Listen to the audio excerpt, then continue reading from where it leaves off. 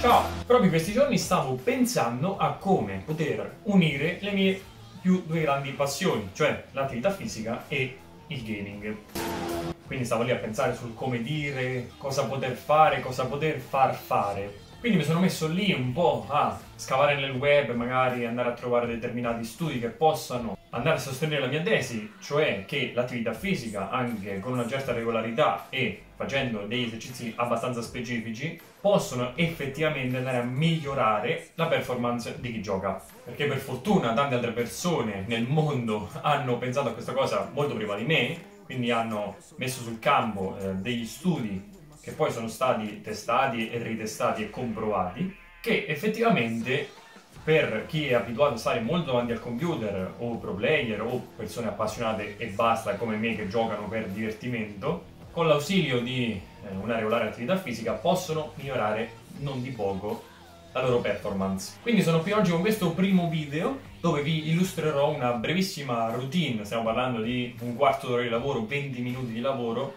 che potete provare e magari farmi sapere come vi siete trovati con degli esercizi abbastanza mirati in quanto andremo a iniziare la nostra routine con degli esercizi di riscaldamento generale quindi per tutta la parte superiore del corpo in special modo collo, spalle e polsi che sono ovviamente i più soggetti a sollecitazione durante magari le sessioni di gaming. Poi andremo ad affrontare due esercizi per la stabilità delle scapole per l'apertura del petto che è proprio uno standard che tutti quelli che stanno al computer stanno gobbi, quindi noi andremo a beccare proprio quei muscoli che sono responsabili dell'apertura delle spalle. Poi, non meno importante, andremo a toccare anche degli esercizi di potenziamento per gli addominali, quindi per evitare anche eh, dei potenziali mal di schiena, che ovviamente hanno una miriade di fattori, ma avere un addome forte sicuramente aiuta.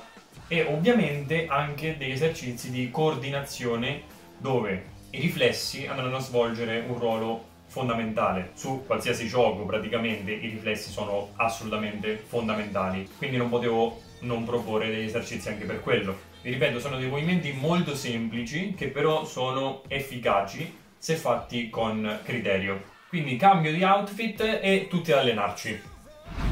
Ok raga, allora iniziamo subito con riscaldare tutta la parte alta del corpo con delle flessioni laterali avanti e dietro della testa, seguite da delle rotazioni ovviamente in tutti e due i versi. Questo piccolo circuito può anche essere svolto per due giri se volete proprio essere sicuri di riscaldarvi bene. Andiamo poi a ruotare i polsi per preparare bene l'avambraccio, in quanto è una parte molto sollecitata nel gaming.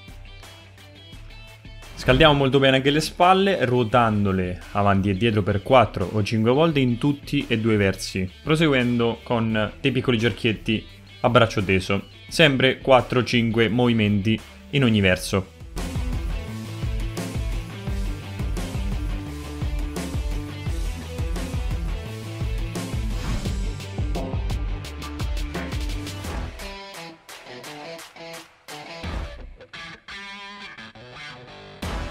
Ci spostiamo poi sul ripiano, una scrivania, per andare a fare degli sbilanciamenti avanti e indietro sulle mani, iniziando con le dita rivolte in avanti e mi raccomando non forzate troppo quando vi sbilanciate in avanti e, altra cosa fondamentale, non staccate mai il palmo della mano dal sostegno, dal ripiano.